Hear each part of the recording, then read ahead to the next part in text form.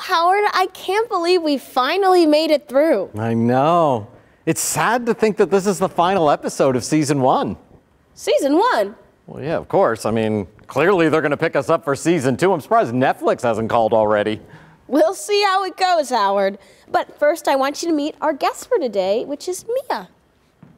Hi, Mia. Nice to meet you. So, what are we going to talk about today?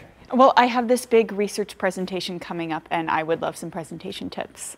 Yeah, I thought you can go over the basics with her. Basics, schmasics. Jamie, presentations aren't done in the abstract. They're done specifically in front of people. hey, why don't you do your presentation for us and I'll give you actual feedback on it? Do we really think that's a good idea, Howard? Well, I think that's a great idea.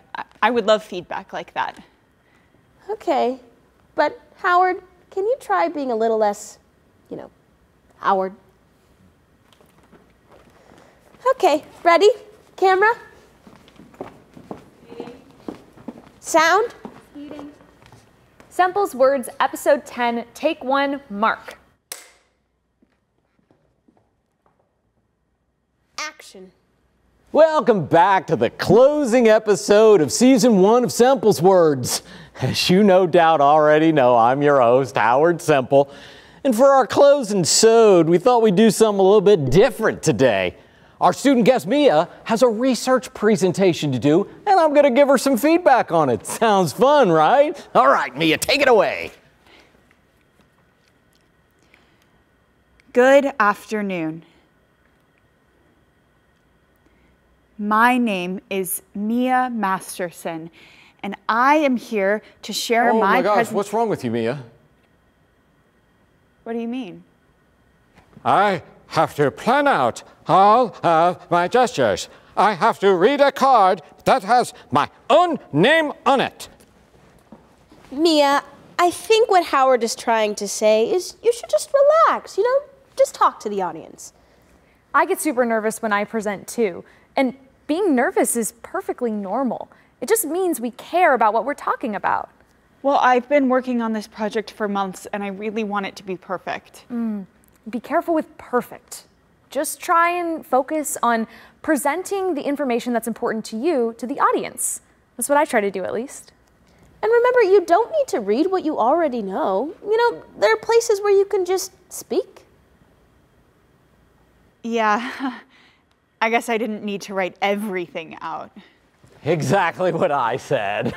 Okay, let's start again.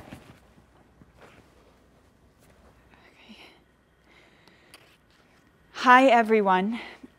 My name is Mia Masterson, and I am really excited. Hi, everyone. My name is Mia Masterson, and I am really excited to share my research presentation with you. It is called The Impact of Negative Body Image on Young Girls. Dr. Renee Hold on, hold on, hold on. states- Who are you talking to? Um, the audience? I don't think so. We are the audience over here. You're not talking to us. You're straight up talking to your slide. Talk to the people you're talking to. And that quote. Oh my gosh, what am I supposed to do with that? It, it's up there, so you want me to read it, but I, but I also feel like I'm supposed to listen to you. What am I supposed to do? Am I supposed to listen to you, or am I supposed to read the quote that you put up there for me to read? And that quote, oh my gosh, I, I feel like I'm a moth, right? Flying to the light. I, I have to read the words, but I can't listen and read. I can't listen and read. I am so sorry, Mia, about whatever Howard's doing, but I think what he means is that you're kind of creating a conflict for your audience when you put too much information on a slide. They want to hear what you're talking about, but they also want to read the slide you made. So then you have some people listening but not reading, and then other people reading but not listening. You know, you want people to focus on you. And by facing the slide and not your audience, you're unconsciously telling them that you don't want them to look at you, which makes them focus on the slide. Well, I want to look at my slides because I'm nervous and I don't really want to see people in the audience.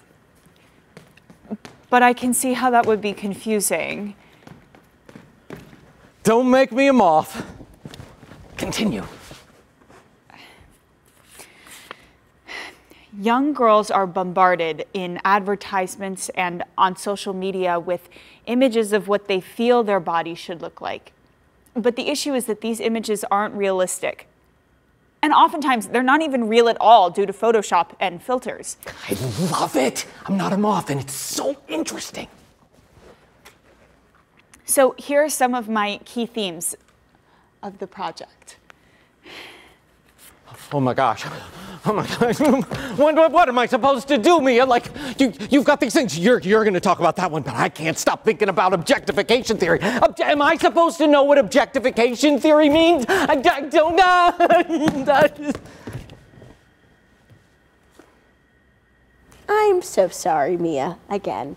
Uh, what I think Howard means is that when you put up a big list, then the audience kind of loses sync of where you are. You know, you're talking about one thing, but they're reading or, in Howard's case, obsessing over something else. You don't want them to get ahead of what you're specifically talking about. You know what you can do? You can use animations in PowerPoint so that each item on your list flies in when you're ready to talk about it. That way, we're only focused on what you're currently discussing. Yeah, and, and I see what he's saying about that phrase. But I just don't know how much jargon is too much jargon. Well, who is your audience? That will help you determine the level of jargon that is appropriate. Uh, are you speaking at a council of undergraduate research event where they don't necessarily know the specifics of what you're talking about? Or are you presenting for faculty in the psych department where they probably gave you some of the jargon you're going to use. You know, know your audience and then base your language around that. So, for my project, I surveyed 100 adolescent girls um, on their reactions to images of the female body. And here's some of my data. So,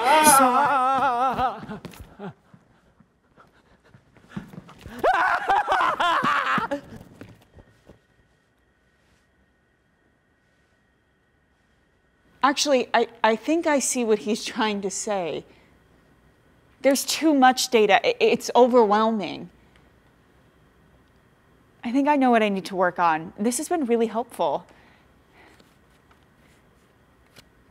Do I need to wait for him to come back or? Who knows when that will be. Nice to meet you, Mia. Thank you for all the help.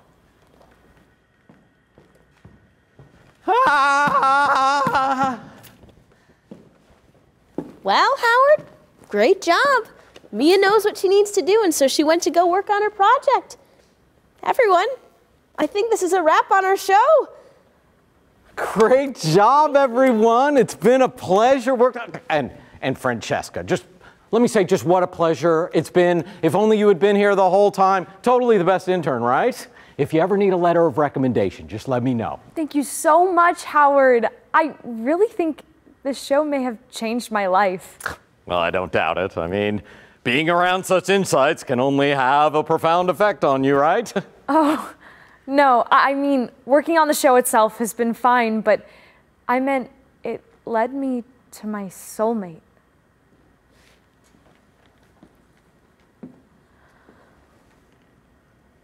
You're dating him? B- b- boom guy? No. No, no, no, no. You both are fired. You can't fire anyone, Howard. The show's over.